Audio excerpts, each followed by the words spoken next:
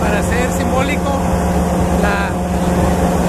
instalación de la primera piedra, la diputada federal Mayra Robles Aguirre